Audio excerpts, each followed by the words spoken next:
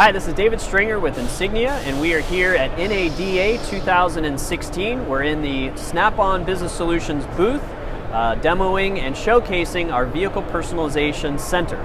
So let's take a look at it. This is meant to be a great place to create a destination in your showroom or your service drive, your service lounge.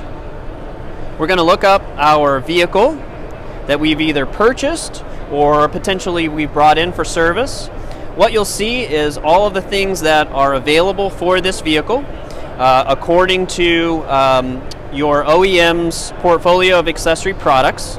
They'll be priced according to your business rules, and you can add them to the vehicle and create a visual representation of what will be on the vehicle. You change it to match your color. We can enlarge it to make it look bigger and take a look. So this allows us to have a fun and engaging way to experience adding new things to our vehicle and personalizing that vehicle. Once everything is added, a shopping cart is available to be printed and taken in either into the finance office or can be taken to the cashier when you are checking out for service. For more information about our kiosk, please visit www.insigniagroup.com and we look forward to talking to you further about vehicle personalization and how we can help your dealership realize benefits in your showroom. Thanks very much.